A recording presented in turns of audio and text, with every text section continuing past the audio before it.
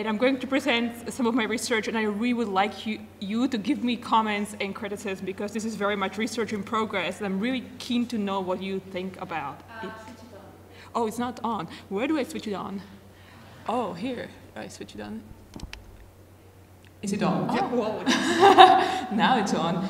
Uh, okay. Okay. So let me start by shortly introducing a new project of mine that I've started just this September. Oh, wait. Oh. Yes. Okay. Hmm. Interesting. Okay, uh, the project is called Innovating Knowledge. In, it's a three-year postdoc postdoctoral project which is funded by the Dutch Organization for Scientific Research, and it's carried out uh, at the Huygens Institute, which is one of the institutes of the Dutch Academy of Arts and Sciences. I started just this September. It will be running until April 2021, roughly. And its main objective is to study the manuscript transmission of the etymologia in Carolingian environment. As you probably know, Gustav Anspach has counted more than 300 early medieval witnesses of the etymologia, of which the majority are Carolingian. The impressive manuscript tradition led Walter Porzig to proclaim that every Carolingian intellectual center possessed a copy of Isidore's encyclopedia, a statement which, even if it's a hyperbole, rings true as to the tenor of the Carolingian age. They really loved Isidore. The large number of surviving manuscripts from the Carolingian period proved a hindrance to the study of the Carolingian reception of the etymology. Today, some of the most pressing obstacles to a large-scale study have been, however, removed. Massive progress in manuscript digitization means that many Carolingian copies of the etymology are available online. The publication of Bischoff's Catalog means we no longer have to rely solely on Anspach's handlings of manuscripts. New technologies make it possible for the first time to reunite dispersed fragments, and we should see the finalization of the new, uh, of the editorial series of the etymology next year, the, the one in Belles Lettres. And I hope my project will benefit from all these developments. Now, it, will not come as a surprise to you, perhaps, that um, many of the of these Carolingian manuscripts show traces of extensive engagement with Isidore's text. It is even possible to talk of Carolingian etymology, by which I mean a set of text versions of the encyclopedia that reflect appropriation of the 7th century text in Carolingian environment and updating to suit new needs and new interests. Words, sections, chapters, uh, even entire books could be added or removed. The order of the section shuffled, passages rewritten, and some of the books or book parts circulated separately as secondary works of Isidore. Carolingian engagement with Isidore could have also taken other forms. Some of the books received glosses, the layout and format of the encyclopedia were altered. It may have been equipped with new tables of contents and diagrams or other paratextual features. All of these means of appropriation deserve to be called innovations, a term I will use henceforth to talk about those textual elements found in early medieval manuscripts of the etymology that are secondary to the original text and at the same time are meaningful, reflect meaningful engagement with the text. So not errors, not some variant readings, but we're talking about like larger size chunks of changes where you can say, okay, somebody had some sort of interest behind it, why would they otherwise put a whole new chapter here? Uh, the etymology were naturally a dynamic text from the outset. They were open to updating and rewriting since early on, in fact, from the days of Braulio of Zaragoza, who was the first in the long line of innovators of Isidore's encyclopedia. Yet, due to the survival rate of Carolingian manuscripts, and since we can today localize many of them precisely and therefore use them as mirrors for specific textual communities, once we enter the Carolingian period, it is possible to study not only individual innovations, but to examine how innovations were shared, and therefore how innovations may have spread in the ecosystem of Carolingian scriptoria, monastic and cathedral schools, intellectual circles, and scholarly workshops. This is indeed the objective with which I have embarked on this project, believing that studying many different innovations and the dynamics of their spreading across the manuscript landscape can allow us to trace the contours of Carolingian intellectual networks. You can rightly ask how much of such an enormous task can be achieved when I'm actually, my project is only for one person, only for me, limited funding, and three years only. And I can tell you already that I know that I have to narrow my focus, and I will be looking specifically on book one of the Etymologia, which contains most uh, promising material. I intend to specifically examine the separate transmission of the first book and its parts in the context of the Carolingian study of grammar, and I hope to provide, uh, produce a digital edition of the glosses to the first book. Uh, and these are two of the case studies I'm uh, planning. And another case study or another sub-project is to trace and study Carolingian redactions of the etymology, of which traces survive both in textual tradition and manuscript evidence. And in fact, I wish to discuss one body of evidence for Carolingian editorial activity uh, today. And this is a material I have been working on since February this year, but I'm still not done. It's still work in progress, and that has to do with the amount of evidence. You will see how much material there is. Um, so let me start from the beginning. January 2014, I visited the City Library of Schaffhausen in Switzerland to examine a manuscript of the Etymologia held there, Schaffhausen Min 42. While examining the manuscript, I have noticed something peculiar. Its text was equipped with critical signs.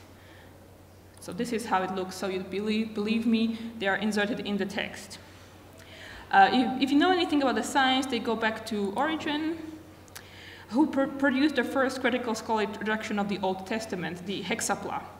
Um, shortly, it was divided into six columns, and the Hexapla allowed one to compare different text versions of the Old Testament, especially the discrepancies between the Septuagint and other Greek translations.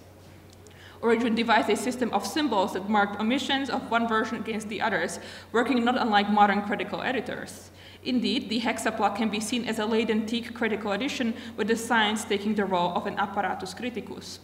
Origen's pioneering philological method was popularized in the West by Jerome, who adopted it for his translation of the Old Testament from Greek, especially for his Psalter.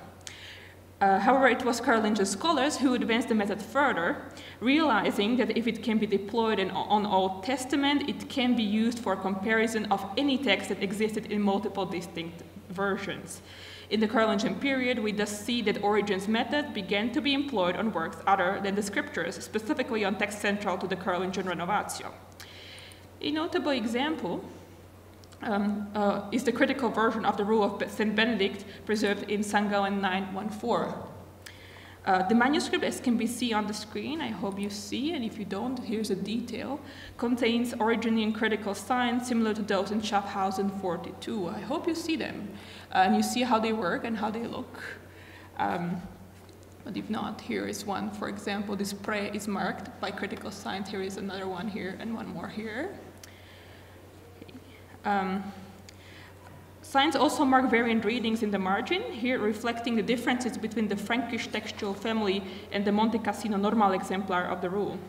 As the prefatory letter attached to the manuscript attests, the critical version was produced around 816 by two Reichenau monks, Tato and Grimald, on the request of Reginbert, the famously learned bibliothecarius of Reichenau. All of these three characters are well-known Carolingian masters and literati, Indeed, Origenian critical science belong to the repertoire of those who attain the highest degree of learning. Their presence in manuscripts is almost universally a clue to Carolingian scholarly projects, a vestige of activity of those who may be termed scholars of imperial rank. I hope it is clear why the critical signs in Schaffhausen 42 came as an extremely exciting discovery. They show that Isidor's Etymologia was a subject of focused scholarly interest in the Carolingian period, not unlike the Rule of Benedict, the Bible, and other key texts of Carolingian reform, reforms. Uh, since the manuscript was produced in the second quarter of the 9th century at Mainz, according to Bernhard Bischoff, the person who comes to mind is, of course, Rabanus Maurus, he can be very much, he is very much a scholar of imperial rank, um, and he certainly did, did have the scholarly acumen to, to carry out this sort of philological work. More importantly, his interest in the text of the etymology is well documented, nonetheless, least as he produced a reworking of Isidore's encyclopedia, his De Universo. However, this uh, hypothesis proved unsubstantiated once it became clear that Schaffhausen 42 is not the only Carolingian manuscript of the Etymologia containing critical signs. Since 2014, four more critically annotated manuscripts came to light. And these are St. Gallen 236, which contains the second decade of the Etymologia. And I should mention here, Schaffhausen 42 contains the first decade, so books 1 to 10, so, and St. Gallen 236, book 11 to 20 so the second half. Then there is Zofingen PA32, which contains the entire etymology. And then there's a two-volume copy of the etymology, St. Gallen 231 and St. Gallen 232. And so that you believe me, uh, here are examples of those critical signs inside these, from these manuscripts. So this is how they look. So Unlike the Schaffhausen manuscript, which was a mobile book, and we don't know where it was in the early Middle Ages, it was produced at Mainz, but obviously it was somewhere else. Schaffhausen itself was not founded until 11th century, so it was somewhere in between, we don't know where. Uh, these four manuscripts were static books They were produced at St. Gallen in the second half of the 9th century. They were present in Abbey's library throughout the Middle Ages, and three of them are kept there today. The Zofingen manuscript is in Zofingen only from the, I believe, 18th century, so it was originally in St. Gallen until 18th century. Thus, it is evident that the presence of critical signs in the five manuscripts has to do with St. Gallen. And these signs reveal a collation project involving these five manuscripts that took place at the Abbey in the Carolingian period. Now, the critical signs are something very, something very uh, uh, grabs your attention. That's something very unusual. So that's what kind of highlights the, uh, the, the collation pro project. But they are not neither the only nor the most informative element of what I term the. Gallen collation project. Upon closer examination, the five manuscripts reveal traces of a complex but coherent scribal workflow that includes marking of transposition, uh, inclusion of passages missing in the text, and most importantly, the addition of variant readings in the margins uh, and using um, the, the marginalium aliter or alibi, AL or ALB. And this is consistent in all of these manuscripts. Um, it, it is these variant readings that allow to date the project to the second half of the 9th century, or at best to the beginning of the 10th century. That is to the golden age of the Carolingian St. During the, the abbacies of the three great abbots, Grimald, Hartmut, and Salomon. The passages equipped with critical signs and variant readings in the five identified manuscripts can be cross-examined to show how the scholars behind the collation project worked and why we should talk of an ambitious scholarly undertaking. And here is where I would like uh, to ask you to uh, look at the handout. We will be looking at the handout now for a while. So first and foremost, you should know that we're, we're talking about five manuscripts, and when you put them together, you realize they, they complete three complete series of the etymologia. So should, we should distinguish manuscripts and the series of etymologia. Uh, I will call them series A, B, and C. So the Schaffhausen manuscript and the St. Gallen 236 actually seem to go together. They have been annotated across, and they are the first series, a complete series of the etymologia. Then uh, the Zofingen manuscript is itself complete, so that's a complete series, series B, all 20 books. And then the St. Gallen 231 and St. Gallen 232, that's a third series, the, I will call it the series C. And in your handout, under the, the overview of the manuscripts, you, you see how the signs look based on the individual manuscripts. So you see, uh, you have examples for you, uh, even but you don't, don't see them on the screen. Now, uh, you should know we're talking, so far I have identified over 100 passages marked by critical signs. They do not appear in the manuscript um, consistently. Some books are annotated more thoroughly than others. Some books never received any critical signs. So for example, book 11 is not annotated in this way at all. And uh, there, about one third is in the first 10 books, and two thirds of the signs appear in the second 10 books, which is quite interesting as well. And there are so about more than 100 passages with critical signs, plus there are variant readings. There are more variant readings than critical signs. And that's, that means it's a bigger project to look at them and, and see how, how many there are. Uh, now, if you ask, the, the, most important question you can ask, or the most, I think, question you everybody has, what these signs show, do they show collation of these manuscripts against each other? The simple answer, yes. This is what, exactly what the signs are doing, and this can be very nicely proved from when you look at certain passages. So if you look at section B of my handout, these are passages, several, just several, I just uh, um, look at some, it took some examples, uh, three passages which show collation, which definitely shows that Schaffhausen manuscript was uh, collated against the Zofingen manuscript. I will also show you that, show this on the screen. Um, I, I, chose the example number two in on, uh, so uh, that's book two, chapter 28, section four. Uh, no, sorry, sorry, bad. book two, section 20, uh, book two, chapter 24, section two. Uh, and you see what's happening there, and I hope you can see it very well on, this, on the screen. It's about the shape of, uh, of moon. And one manuscript, the Schaffhausen manuscript, has convexa as a base reading. There are signs, uh, critical signs saying there is something wrong, or this is not, this is dubious, or there's some problem. And it has aliter cava, meaning concava. If you look at the Zofingen manuscript, it has the opposite reading. So it has originally concava, and in the margin is aliter convexa. So this shows you that these two were collated, and the third manuscript, the Series C, has only con concava and no, no, no variant reading or no, no signs. Um, so this is one example where you see this happening. Uh, you also can see uh, in the same way, at, I think that's section C, I believe, but you see that the collation also took place against the manuscript St. Gallen 231 and. Gallen 232, so that's series C. and here is example of that, I believe. Uh, here, this is also on your handout. This is the second example. So book one, chapter 35, section seven. Uh, the problem is with hoc est, and you notice that the, um, the both Schaffhausen and Zofingen manuscript has hoc est, and the only manuscript series that doesn't have it is the series C, and that's where the, the signs come from. That's probably where what they were, what they were collating against. Um, now, one of the main conclusions of this ongoing collation, and this is, this is it, I basically have this huge collation table and just going on and on and on and trying to see all the passages and see what, how it, what it tells you about how these people were working and what they were trying to achieve, is that um, even if you take uh, all the critical science and if you look at uh, these three series of manuscripts, um, that still there must have been more manuscripts involved in the collation as some of the critical signs and variant readings cannot be explained from these three manuscripts alone. And that's the example I, I provide in, uh, on your handout. It's section D, and I also have it here on the screen. Uh, so you can follow me wherever you like. Uh, these are the three manuscripts, uh, so series A, B, and C. You notice uh, this is book 12, chapter 1, section 52. The, the reading, base reading should be qui frontem albam calidi.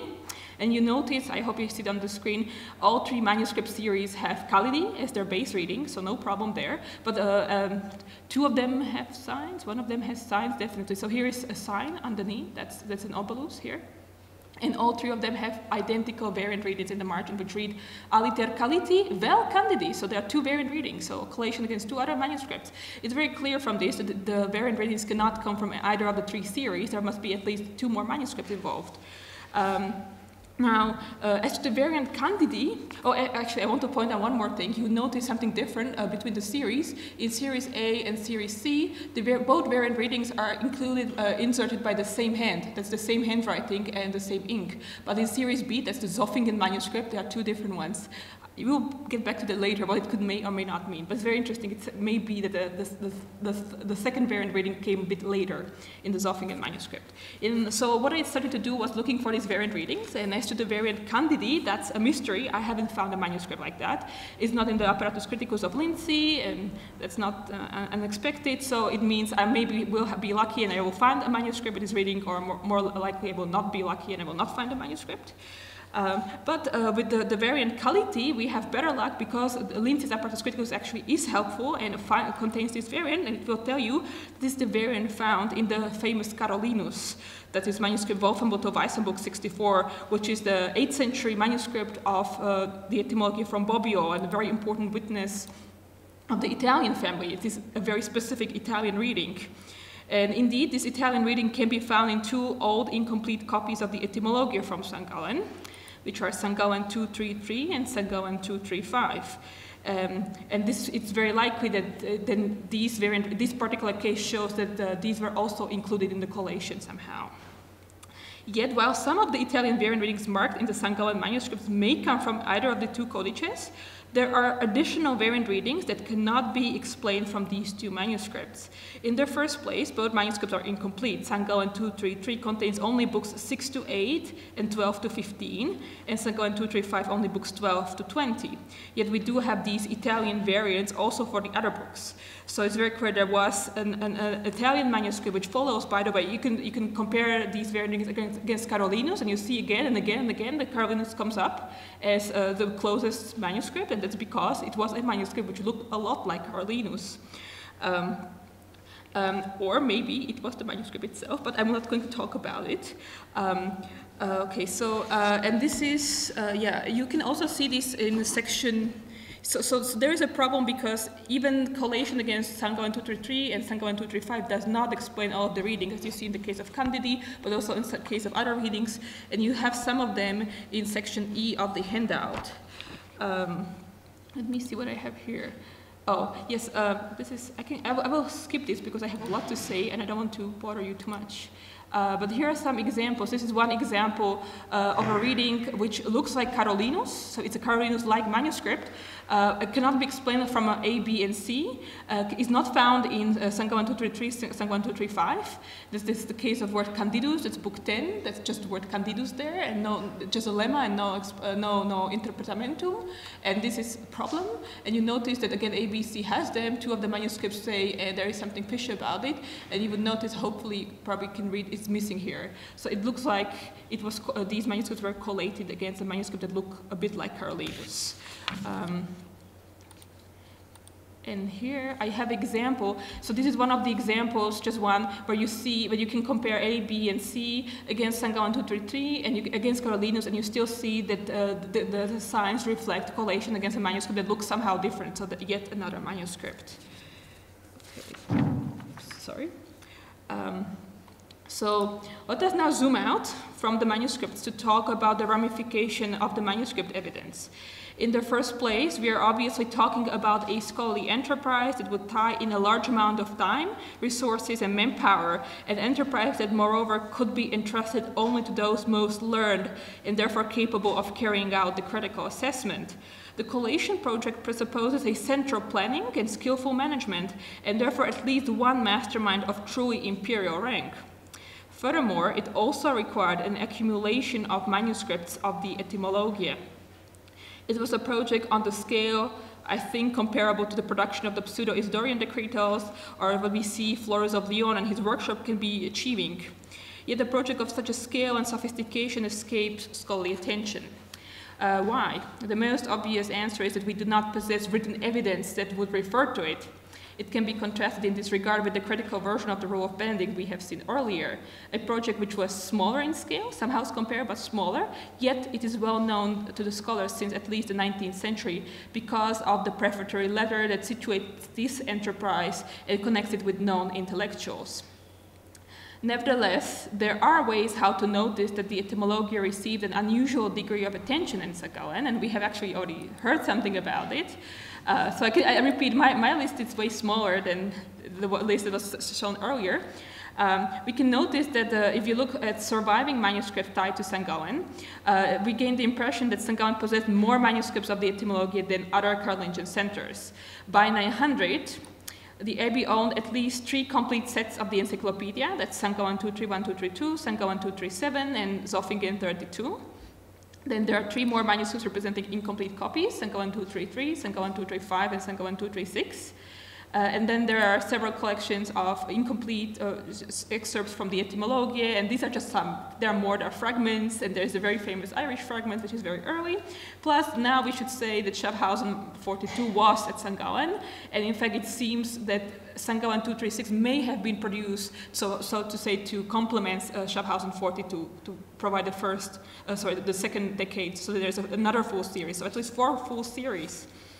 And that's a lot for Carolingian centers. That's, uh, that's more, more than any other center I know so far.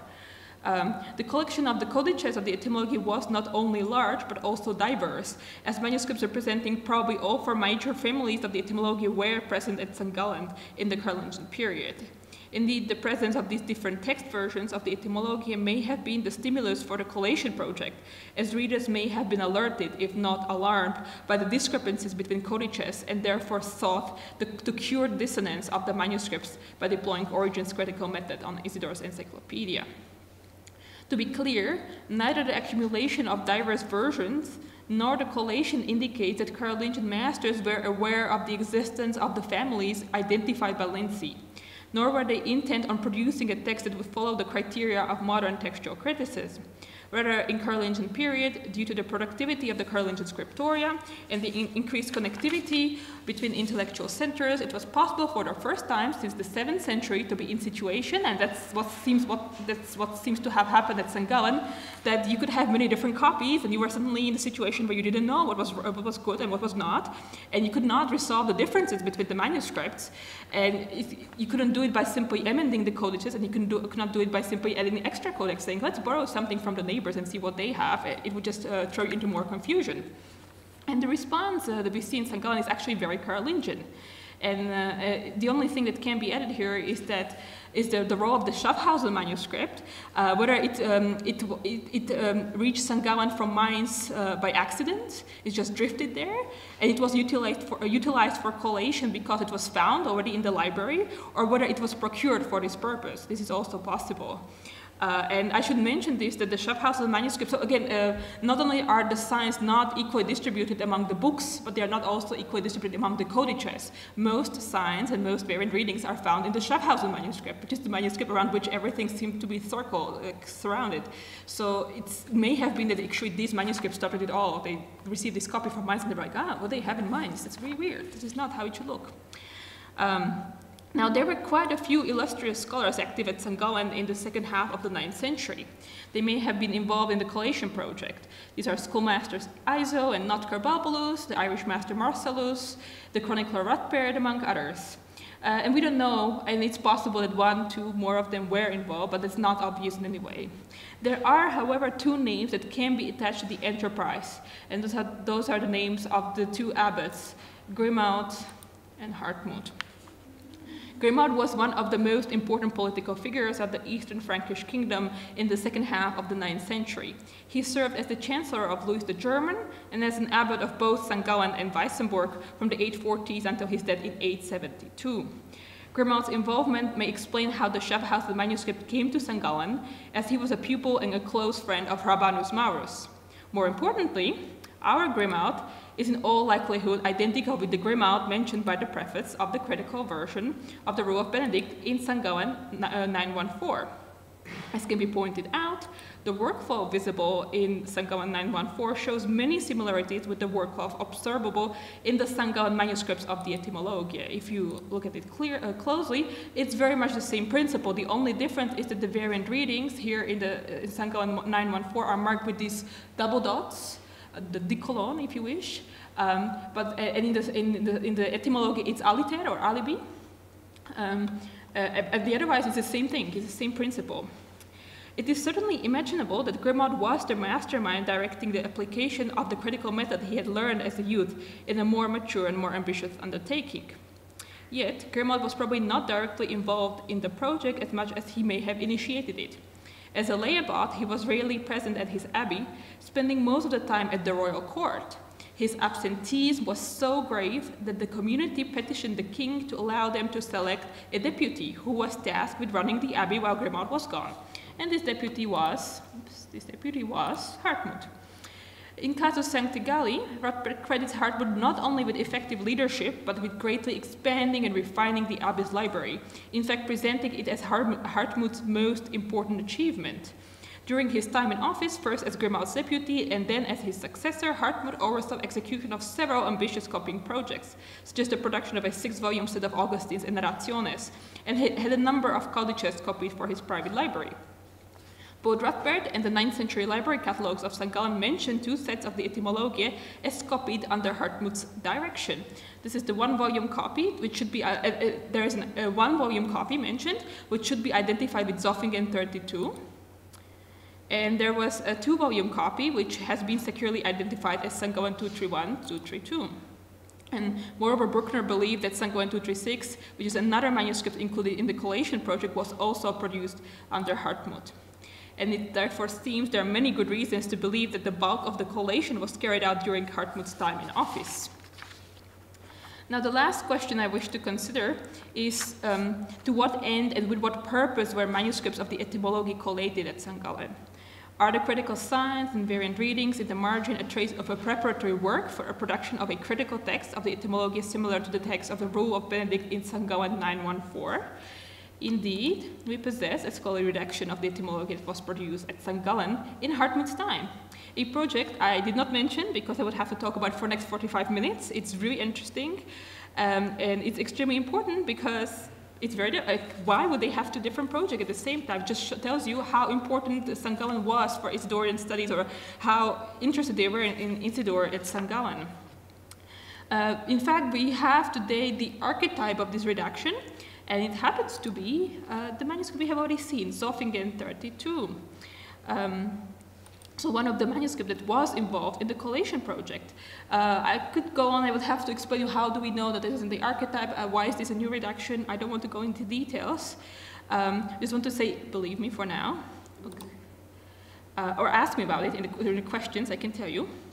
So this is very interesting. We do have the collation project and we do have a redaction produced. Is there a link? Well, there's a problem with chronology because it, it does not allow this codex to be the desired end product of the collation. Not only was it one of the manuscripts that received critical signs, suggesting that its production preceded the collation, but one of the series of the etymology employed in the collation, the series C. Gallen 231, St. Gallen 232, was produced perhaps a decade or two after the Zofingen manuscript, and thus its text and apparatus could not depend on it. And there is, this is a, huge puzzle. I don't have the, the, clear answer. One of the solutions may be to concede that the redaction represented by the Zofingen Codex and the collation project were unrelated, even though it would mean that Hartmut and his scriptorium engage in two rather than just one demanding scholarly enterprise, an extraordinary, although perhaps not an entirely unimaginable feat. And it may seem logical to us today that the two projects were interrelated, or even that one, such as the collation, led to the other, the reduction. However, we must concede that medieval logic may have been quite different from our course of action. This doesn't have to be that way. The placement of some of the critical signs and variant readings in the five identified manuscripts suggests that they were inserted over a prolonged period of time and may have never had, therefore, a final goal. And here is a very interesting example. This is um, one of the leaves from the Zofingen manuscript. That's why I call it the, the archetype. There's, there are lots of passages where the, the content is crossed out or erased. There are leaves which are torn out. It seems to be a work in progress. And this is one of the passages which in the end does not get into the archetype. It gets crossed out and it just stays there crossed out. And this same passage is copied somewhere else because it should be in different order. And notice here, I, I don't know whether you can see it very clearly, there is a passage marked with critical signs there. I hope you can see the signs uh, uh above the word significat on one side on the other side. So it seems the signs were there first, and then the, the passage was crossed out, meaning only then they decided it will not be here, it will be somewhere else, which suggests a, the, collation first, redaction later. Um, so there is a second and more likely possibility that the collation and the resulting insertion of critical signs and variant readings in the copies of the Etymologiae produced or procured in the second half of the 9th century by, by. Gallen were a goal unto itself. The production of a better redaction of the etymology may have been aligned with the collation, as far as the latter would enrich the former over a period of time, each successive copy made from this archetype transmitting more and more of the apparatus and more and more of the variant readings. That this may have been the case is indicated one the, by one of the descendants of the Zofingen manuscript, Wolfenbüttel Weissenburg II, which is an 11th century copy um, not directly made from the Zofingen manuscript, there is probably one intermediary. So it is a Weissenburg copy, very clean, 11th century. It's very possible that the Zofingen manuscript, which was in St. Gallen, uh, they made a copy 9th century for Weissenburg, which was sort of the sister abbey, and then from this 9th century copy, they produced this 11th century manuscript. The reason why to think this is that there are variant readings in, the, in this 11th century manuscript. They appear in the same place and same position as the variant readings in the Zofingen manuscript. And you notice that in the, the Wolfenbüttel manuscript, in the, the copy, they're the, by the main hand, so they're copied from the exemplar. But in the Zofingen, they are the second hand. They are, the, they are one of the people who are amending or who are collating. And they get inserted into the Weissenburg copy, but not all of them. So it seems that the moment when there was a copy made for Weissenburg, perhaps, the, the copy has not yet been collated completely. Not all variant readings, as we find them now today, were there, and the copy was dispatched first, and then they continued maybe onwards. Um, so, and this is where I want to end my talk because I've been talking for probably too long already. Uh, I do not have any firm conclusions at, at, this moment. As I said, this is a work in progress. What I still need to do, I have this collation table. I still continue adding more variant readings, more signs. I have to see the manuscripts again, so I need to go back to Switzerland, and that's the plan for the next year. And maybe I will be able to tell you something more about uh, the context, the purpose, how these people are working, what kind of errors they are making, who was behind this project, and what was the relations uh, to this redaction that was also produced around the same time by possibly the same people under the same abbot and at the same that does not seem to be very particularly connected with it. So thank you for your attention today.